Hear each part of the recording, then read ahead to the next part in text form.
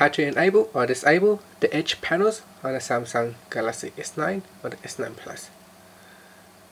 First, tap on the home key to go back to your home screen. Then swipe down and tap on the settings icon. In here, tap on displayed. Then you want to go down. And then tap on edge screen.